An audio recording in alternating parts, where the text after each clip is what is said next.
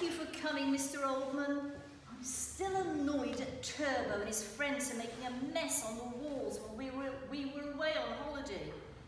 How did every wall in the lounge and up the stairway get covered in bicycle tyre tracks, would you believe? Yes, it was. He was rather quiet about what went on. But look on the bright side. He painted the rest of the house for you. so called for saying sorry, but yes, half the house, Mr. Oldman, half the house, the lower half. It's only as high as he could reach, and in brown. He thought the brown colour would best cover the, uh, the, the marks. Probably it was because it was cheapest as well. Do not worry, my dear Anne. Uh, I am prepared for my rescue mission. A lot of nice coloured paint and stilts on my feet. so I can reach all the high places. Oh, you're so kind, Mr. Oldman. Don't you think, Prudence? Prudence?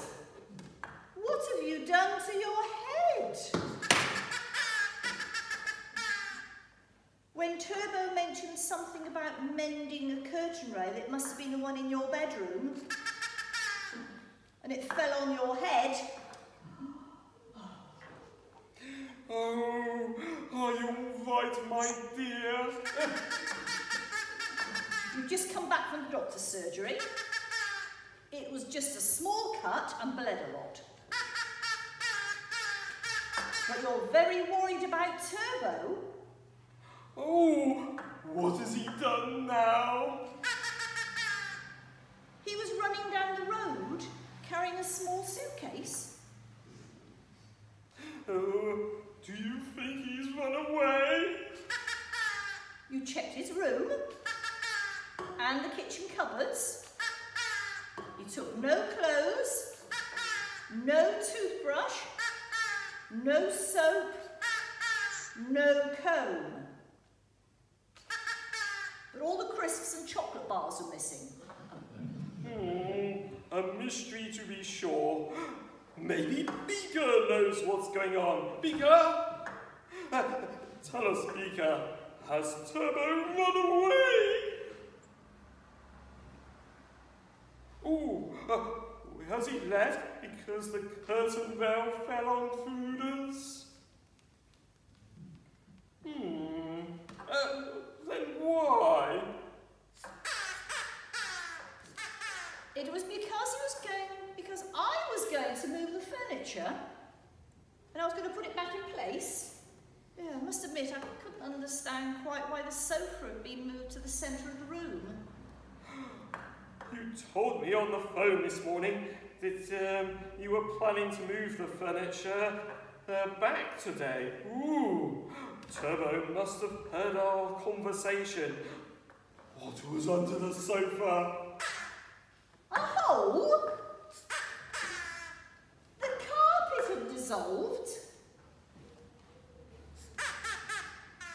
Turbo had accidentally dropped a can of bike oil and couldn't get the stain out of the carpet.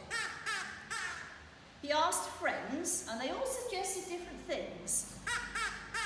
So he put them all on the stain and left it to bubble and fizz overnight.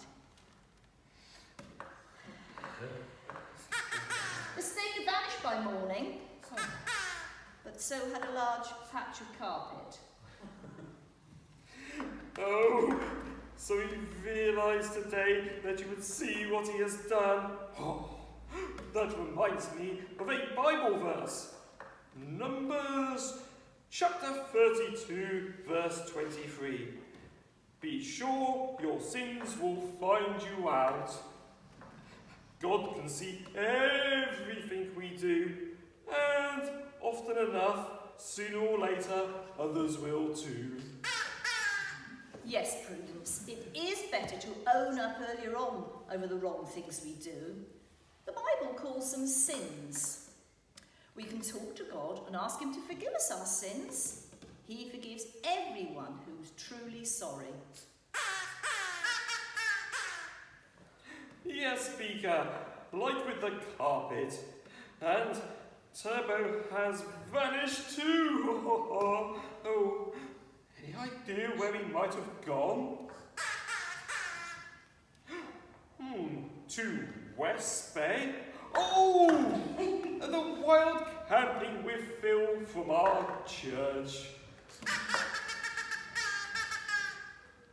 Uh, but he won't need his comb and toothbrush and change of clothes, you think? We, don't think so. Anyway, perhaps it'll be a good idea if I just phone Phil and check Turbo's safe, don't you think? Hmm.